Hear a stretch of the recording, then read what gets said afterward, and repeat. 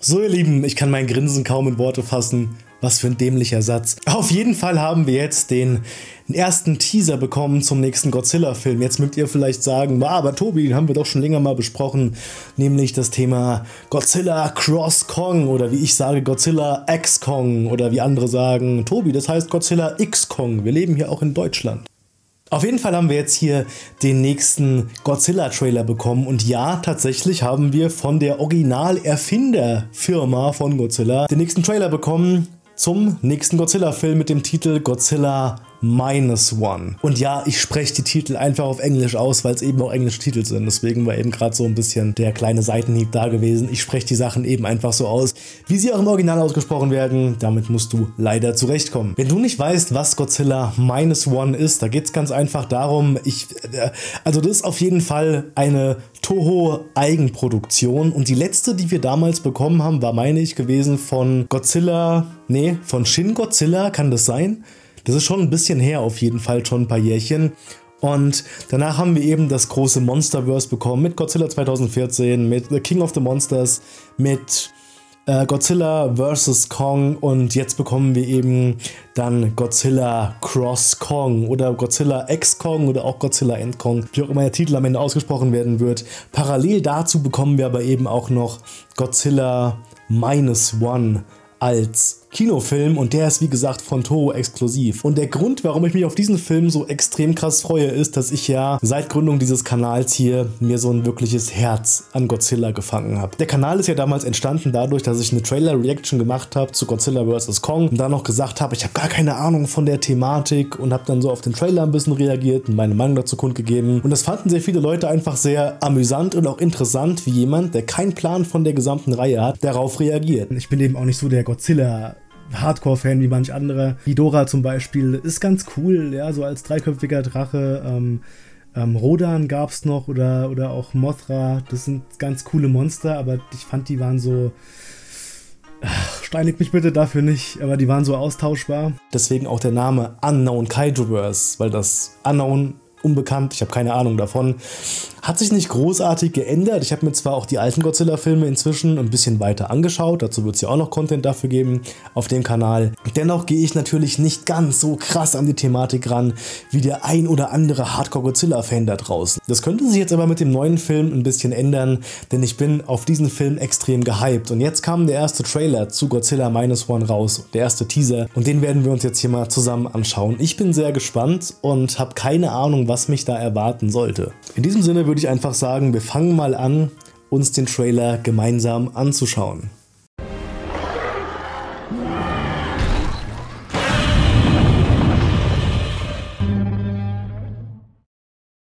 So, wir gehen in das Ganze rein in 3, 2, 1 und los. Post-War, Moment.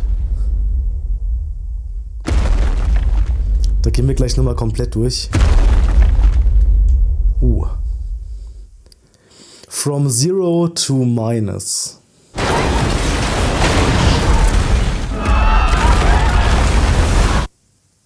Godzilla. Minus. Es ist nicht viel. Ähm, wir haben nicht allzu viel gesehen. Ich will jetzt erstmal meinen ersten Eindruck zu dem Teaser preisgeben. Wir sprechen dann nochmal im nächsten Video genauer über einzelne Szenen. Ähm, ganz kurz nur als, als, kleine, als kleine Info dazu. Ähm, bei diesem Trailer habt ihr jetzt am Ende gesehen, 1. Dezember 2023 kommt der Film in die Kinos. Das stimmt. Allerdings nur in den USA. In Japan kommt er tatsächlich schon am 3. November in die Kinos, meine ich. Ich werde sie gerade mal einblenden. Ich glaube, am 3. November ist das der Fall. Und da ich kein Japanisch spreche, ist für mich die englische Variante erstmal äh, von Belang. Das heißt, für mich kommt der Film am 1. Dezember in die Kinos und eventuell auch auf irgendwelche Streaming-Dienste dann kurz darauf. Wir schauen einfach mal. Es war jetzt ein sehr kurzer Teaser gewesen, ne? Da hat man jetzt nicht allzu viel gesehen. Ich bin ein Fan davon, wenn ich geteased werde, aber nicht gespoilert werde. Hier bin ich auf gar keinen Fall gespoilert worden. Ähm, der Unterschied zu dem Godzilla Cross Kong Teaser und dem jetzt hier ist einfach gewesen, dass dieser Teaser mir wirklich Sachen aus dem Film gezeigt hat, während die Szene, die wir in Godzilla Cross Kong gesehen haben, mit ähm, King Louis, wie so viele sagen, der auf dem Thron sitzt, die Szene wird so nicht im Film vorkommen. Hier haben wir jetzt ein bisschen besseren Eindruck bekommen über die Stimmung der ganzen Nummer. Ich meine mal gelesen zu haben, dass dieser Godzilla-Film in der Vergangenheit spielt. Also der spielt nicht ähm, 2023 oder sowas. Der spielt nicht im aktuellen Zeitraum. Shin Godzilla damals war ja noch im aktuellen Zeitraum, als der Film damals veröffentlicht wurde. Der soll wohl in der Vergangenheit spielen. Ich habe da eben gerade mal drauf geachtet und habe das nicht wirklich erkennen können. Ich hoffe, es stimmt so, was ich sage. Ich werde es auf jeden Fall nochmal für euch recherchieren und wenn ich es rausfinde, werde ich es hier mal einblenden. Ähm, was mir zuallererst eingefallen ist oder aufgefallen ist bei diesem Teaser, ich bin ja ein Riesenfan vom allerersten Godzilla-Film. Ich habe den nachgeholt, erst vor drei Jahren, glaube ich. Da habe ich mir den allerersten Godzilla 1954 das allererste Mal angeschaut gehabt und man mag meinen, ja, aber der ist ja schwarz-weiß und da ist ja die, die Qualität noch so anders und mich kriegst du mit sowas. Ich bin Nostalgiemensch. Ich finde Filmmache immer geil, gerade wenn du kein CGI in Übermaß benutzt. Ich mag Tricktechnik, die mit animatronischen Puppen und eben mit Tricks gezeigt wird und eben nicht nur am Rechner produziert wurde. Von daher mochte ich diesen Film extrem gerne und der allererste Godzilla hat einen riesen Vorteil dadurch, dass er in Schwarz-Weiß gedreht wurde. Es gibt im allerersten Godzilla-Film bestimmte Szenen, die gerade weil sie in Schwarz-Weiß präsentiert werden, unfassbar stark an den Zweiten Weltkrieg erinnert. Oder generell an Kriegsszenarien, an Kriegsdokus, die auch meistens dann in Schwarz-Weiß irgendwo in Dokumentationen erscheinen. Davon profitiert, äh, profitiert. Davon profitiert der allererste Godzilla-Film definitiv extrem. Ich hatte bei dem Film jetzt hier ähnliche, ähnliche Gefühle. Ich weiß nicht, worum es da wirklich gehen sollte. Wir sehen ja am Anfang immer die ganze Stadt, die zerstört wurde, was auch sehr an ein Kriegsszenario erinnert hat. Und da habe ich mir auch erst ganz kurz gedacht, geht es da vielleicht auch irgendwie um einen Weltkrieg, der gerade vorbei ist? Und dann taucht Godzilla erstmal auf und danach haben wir aber diese Uhr auch gesehen und diese Uhr gibt es in Japan wirklich. Und diese Schramme, die da reingelaufen wurde quasi, diese, diese Szene mit der Spur, die wir im, im, im Teaser ganz kurz sehen, hat mich sehr sehr an den 2014er Godzilla erinnert. Das heißt, ich glaube, dass diese Zerstörung in dem Film auch nur von Godzilla ausgeht. Und der allererste Godzilla war ja so ein bisschen eine Metapher gewesen. Eine Metapher vor der Angst vor Atomwaffen, die unfassbar gut umgesetzt wurde. Ich kann den allerersten Godzilla-Film nur jedem, jedem ans Herz legen der dieses ganze Schwarz-Weiß-Gedöns so ein bisschen für sich auch vielleicht verinnerlichen kann, der da Bock drauf hat oder einfach mal ein Auge zudrücken kann. Der Film hat wirklich gezeigt, ja, Godzilla ist nicht einfach nur ein Actionmonster, wie es einfach in Hollywood heutzutage gezeigt wird. Godzilla ist eine Metapher für Angst, für Furcht, vor, Furcht, für Furcht vor verschiedenen Dingen. In diesem Fall, im ersten Godzilla war es eben die Angst vor Atomwaffen. Das hier in diesem Film scheint mir eine sehr, sehr, sehr starke Anleihung an äh, Anlehnung an den allerersten Godzilla-Film zu sein. Es ist kein Remake, das glaube ich nicht. Das würde man auf jeden Fall auch anders kommunizieren, als den Film Godzilla Minus One nennen. Aber der Film scheint auch wirklich wieder zu den Ursprüngen zurückzuspringen. Also Godzilla ist, ich würde nicht mal sagen böse.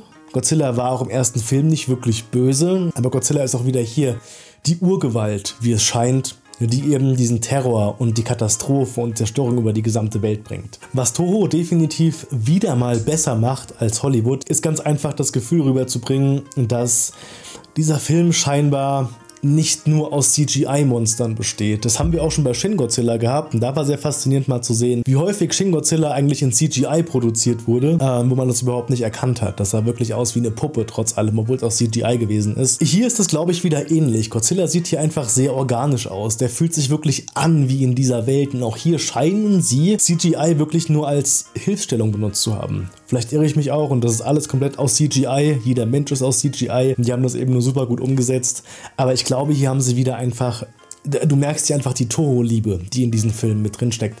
Und ich habe da tatsächlich ein bisschen mehr Bock drauf als auf den Hollywood Godzilla Cross Kong. Das Design von Godzilla ganz zum Schluss hat mich auch wieder sehr stark, für mich ein bisschen zu stark, an den 2014er Godzilla erinnert, also den Monsterverse Godzilla. Die sehen sich schon irgendwie sehr ähnlich. Ich weiß nicht, ob das im fertigen Film auch noch so rüberkommen wird. Wir sehen ja eben nur ganz kurz die aufgerissene Schnauze von Godzilla hier in dem Film. Ich schätze mal, dass die aber nicht das Design eins zu eins kopiert haben. Wir sehen jetzt ja hier auch schon ein paar Abweichungen. Gerade eben die Augen von diesem Godzilla sehen schon mal ganz anders aus. Also ich persönlich habe extrem Bock auf diesen Film und wie gesagt, habe immer noch ein bisschen mehr Bock auf diesen Toho-Film als auf den ähm, Hollywood-Godzilla-Film. Wie ist deine Meinung zu diesem Teaser? Hast du ein paar Anmerkungen dazu, beziehungsweise spar dir mal die Anmerkungen bis zum nächsten Video, denn da will ich so eine kleine Trailer-Analyse machen oder eher eine Teaser-Analyse, wo wir mal ein bisschen auf die einzelnen Szenen eingehen und da vielleicht noch ein bisschen mehr rausziehen können, was denn da wirklich abgehen kann. Vielleicht auch so ein bisschen was, was die Story angeht. Da glaube ich aber, ist man erstmal noch so ein bisschen im Geheimen, beziehungsweise die Godzilla-Story ist